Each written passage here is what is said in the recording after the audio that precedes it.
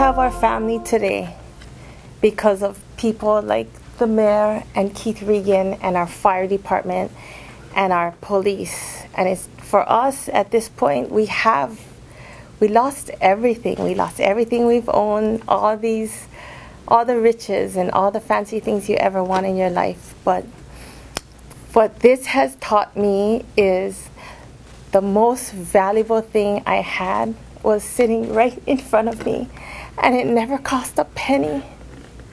And I think in this way, we're lucky because we got clarity in life. And not a lot of people see that, you know? So we're lucky. We're lucky. We still have everything. And I think that right now for my kids, they feel they don't feel secure, they don't feel safe, you know. And I just ask that, you know, we have how can we be more prepared? Are we prepared for this? You know, we need more safety. We need our kids need to be safe. They need to feel safe. They're afraid to go home. I think it how do you feel? I feel a little relief or a lot of relief knowing that we're all working together now and something's going to get done. And you know for a safer place not just for myself and my fellow neighbors but all of Maui everyone who lives on the on the stream. So it's it's a relief. And I know it's a work in progress but you know at least we're getting somewhere. I was taking him to judo and that's probably only like a 15 20 minutes you know to drop him off. And meanwhile I get a phone call from her and she's telling me, "Mom, you know the the water is rising. It's all the way up to the stairs." And I was like, "Wow." I was like, "Yeah, okay." And I thought she was. We have a pool, so I thought it was a pool, but actually, it wasn't the pool.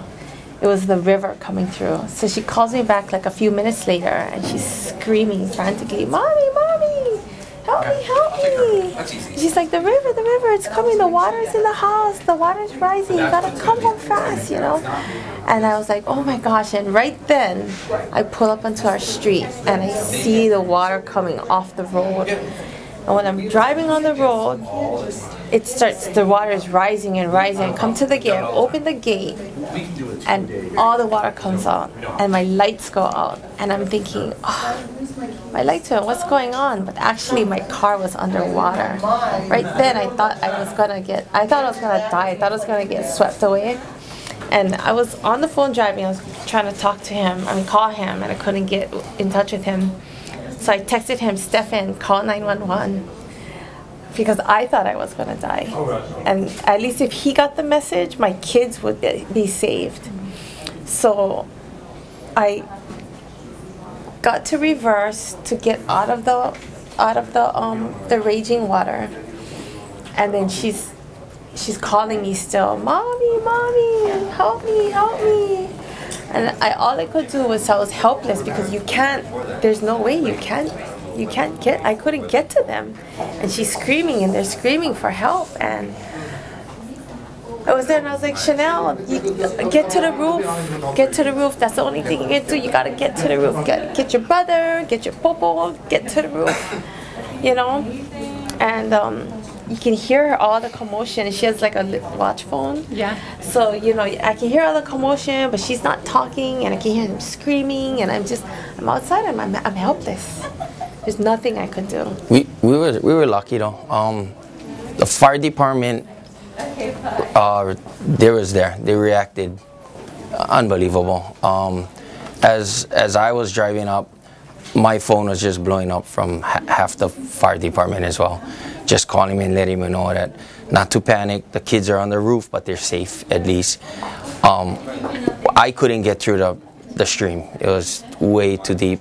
Um, it, it, at that time, Chief Murray was right behind me with, with Robert, with Deputy Chief Robert Shimada, and they, when they heard about what was going on, I mean, they got out of their house to just see what they could do. And as soon as the river went down just a little bit, that was the chance they had. And they went in with Captain Lee Terros as well and Battalion Chief uh, Alan Duart.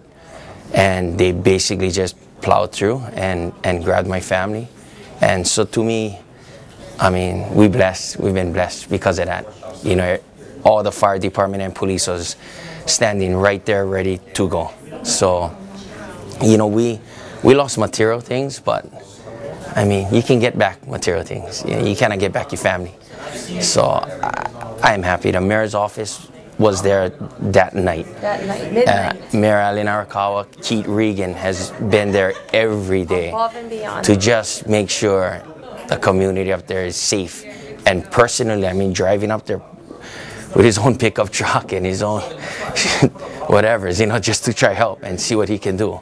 And to me, that's awesome. Jock has been up there Jock, to check. Jock came and shoveled mud. yeah, literally shoveled mud. Yeah, you know. Yeah. Um, you know, it's just we've been blessed. You know, we don't want nothing to grumble about. You know, we've been blessed, yeah. and we still get our family. You know, everybody's trying to say, "Can you compare this to this? Can you compare?" I mean, for me, all I can say is I've saw that river pound a lot of times. You know, Kano is right down below us. He saw the river pound probably even more than we, we do because he's below us. But we had no idea that this river is going to open out and, and go the route that it took, you know. So, you know, my concern is just hopefully we can try to correct it as best as possible. Um, you know, so it won't happen again. Maybe next time lives might get lost. We don't know. If, if this were if this happened when kids were sleeping in bed and people were sleeping, uh, who knows what would have happened? You know.